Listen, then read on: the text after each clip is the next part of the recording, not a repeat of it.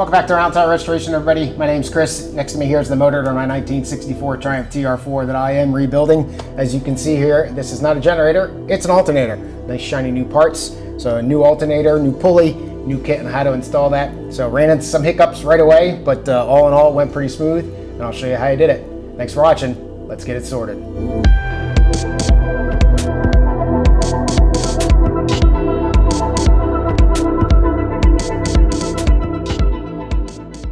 So you may remember a couple videos ago I made a blanking plate for the fuel pump, but I'm going to, uh, in, in case I want to go to an electric fuel pump, but for now I am going to stick with the mechanical fuel pump, probably for, uh, for the run in and the, and the burn in for the motor. So I'm going to get that thing installed and essentially got, uh, got the gasket here. I'll get that painted up, get the fuel pump in there, uh, which I rebuilt quite some time ago, and then uh, get that mounted, and get that torque down. So we'll move into that and then we're gonna shift over to putting the alternator on. So I'm going from a generator to an alternator and I still have concerns for my belt alignment here. So we're gonna uh, go, go that route for now to see how bad my, uh, my belt alignment's gonna be.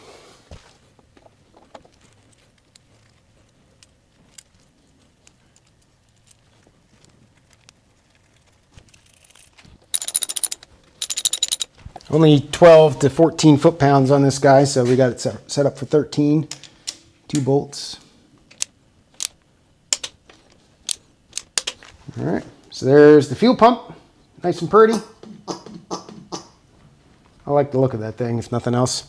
All right, so now up is going to be the alternator, and this is all aftermarket stuff here. So uh, it probably is going to be a challenge, like the rest of my aftermarket stuff has been. We'll see how it goes. That didn't take long to run into difficulties. So this is the bracket. It gets bolted to the side of the block for the generator or the alternator, whatever the case may be. And what's going on here is this is not, this has been welded. So this, this shaft here or this tube, whatever you want to call it, it looks like it's been welded to the bracket. Now I didn't really recognize this as not being stock because frankly the welds aren't always that great from Triumph and these welds are looking okay.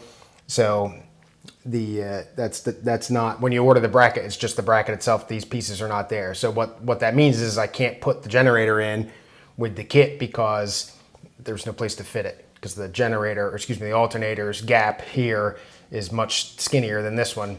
And because of that I can't put the uh, the modifications to it. So I've got a new bracket on the way. I don't know how long that's going to take. I got it uh, from Rimmer Brothers so it's probably going to be a little while. So we'll hold off on doing that and move on to something else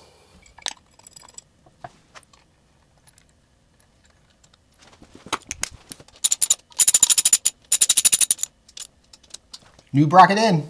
So now we'll transition to putting the kit together. The mounting kit, which is what all this stuff here is. Uh, this is a, even though I got this stuff from Rimmer, it's a Moss kit because it comes with Moss alternator conversion instructions. So that's interesting. But we're gonna go ahead now and follow those directions. So the first thing is you get the longest 5 16 bolt, put a flat washer on it, and then install the bolt through the front side of the lower rear of the alternator. So the front side of the lower rear of the alternator. So again, got the alternator here. So this is the lower rear and that's the front side. So that goes in like that. And then uh, note this ear has an adjustable sleeve in it, which it does. That's what that guy is. Put the alternator spacer all on the bolt after it is protruding through the adjustable sleeve. So I believe that's this guy here. Lower the alternator down in place and push the bolt through the rear end of the generator mounting bracket. Install a flat washer, lock washer, and nut finger tight. So flat washer, lock washer, and nut. So that uh, trifecta there, finger tight. So we'll go over to the motor and present this guy up. All right, let me, I'm gonna go ahead and put this thing on and tighten it down. The instructions aren't that great to tell you the truth. And then come back at it. That way I can get that mounted and give me something to rely on. So there's that. So what happens is, is the front gets mounted like that into there, but I think I'm gonna have a problem with this spacer here. So the alternator needs to go back quite a ways still to get that front screw in. So I gotta move that adjustable spacer out so that this bolt comes forward like this and allows me to set that generator back. about the entire thickness of the spacer. And I think, unfortunately, what that's going to do is I'm going to run out of thread on the back here. And it's not going to be, this bolt's not going to end up being long enough. Uh, I think I have another one of these probably laying around somewhere, but that's, uh, I think that's what I'm looking at. So let me try that. Try and give you a little bit better of an angle here so you can see. So I just took a hammer and was able to smack that shim through or the spacer, whatever you want to call it, through. That, that wasn't tight at all. Not difficult to do, so we'll slide the bolt through. And the big spacer gets on there.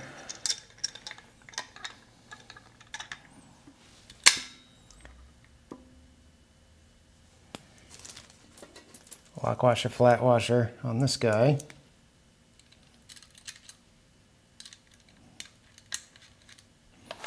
And from the front here, looks like I still need something in there to take up some space.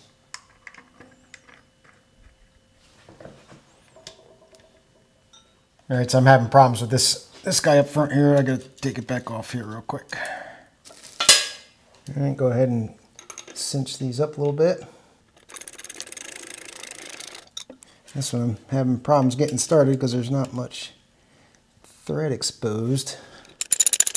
All right, so that seems to work all right. This definitely need a longer nut here though, or a longer, longer bolt. It's not, uh, no thread protrusion out the back. I don't know if I'm going to be able to get a longer bolt in there though. Anyway, I also need to replace the pulley because the, uh, the aftermarket pulley with the narrow belt kit has a standoff on the bottom of it. Because right now I can see that that pulley doesn't line up with the crank or the water pump, but with that standoff, it should do okay. So I'm just going to leave this bolt here for now put the top handler on. So that guy's going to bolt in there. And I need that thick, need the spacer. It looks like that's going to work kind of like that.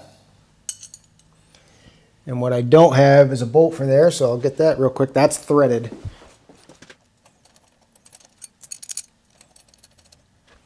Tighten that guy down.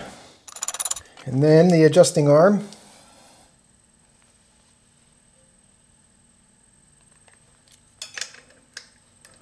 I assume that this is the bolt for it, but this is not threaded, the alternator. And it's not big enough for the bolt. So I imagine I can tap it. And I also forgot the belt at home. I either drill this thing out, which I don't really want to do, or I tap it. I think that's what I'm going to do. It's only aluminum, so I'm not too worried about it also see if I can get a solution for a bigger bolt. So this is generally how it's going to go together when I when I get it tapped uh, and see if I can get a longer bolt down here. I'll come back and kind of show you the final uh, the final product here.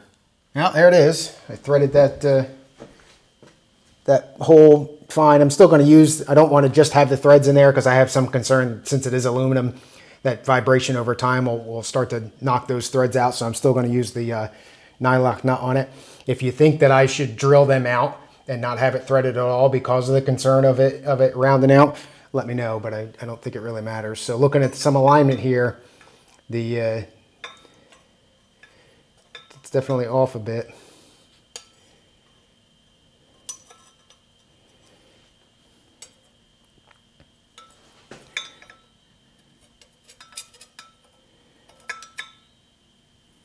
So I don't know.